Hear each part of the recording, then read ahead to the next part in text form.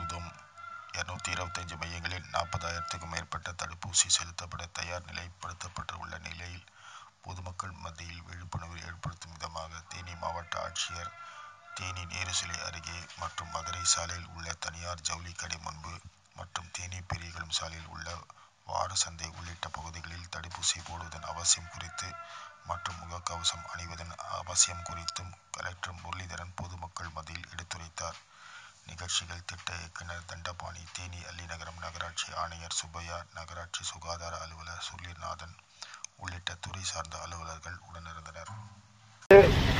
பதினெட்டு வயது முடிந்தவர்கள் அனைவரும் தடுப்பூசி போட்டுக்கொள்ள தகுதியானவர்கள் முதல் தடுப்பூசி போட்டவர்கள் எண்பத்தைந்து நாட்கள் ஆகியிருந்தால் இரண்டாவது தடுப்பூசி செலுத்திக் கொள்ளலாம்.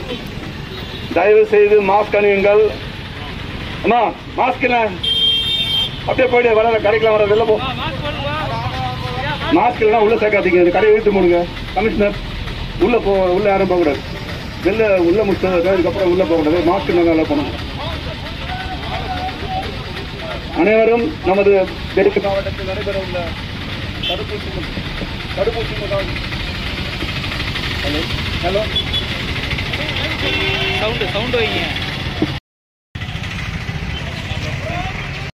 மாஸ்க் போடுங்க முகக்கவசம் போட்டு வாங்க.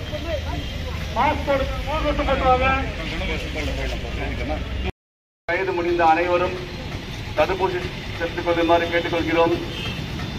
முதல் தவணையை போட்டவர்கள் இரண்டாவது தவணையை போடாமல் இருந்தால் தயவு செய்து எண்பத்தைந்து நாட்கள் ஆகியிருந்தால் உடனடியாக தடுப்பூசி செலுத்திக் கொள்ளுமாறு வேண்டி கேட்டுக்கொள்கிறோம். கொரோனா என்னும் நமது எதிரியை குடும்பத்தையும் நாட்டையும் நீங்கள் தாக்கலாம். நான் இங்க இருந்து பாக்குறேன். சில பேர் அந்த அந்த தாடி வச்சு தம்பி அப்படியே மாஸ்க் இல்லாம இருக்காரு. தம்பி டீ சாப்பிட்றதுனா போடலாம். சும்மா நின்று மாஸ்க் போடு மாஸ்க் போடு.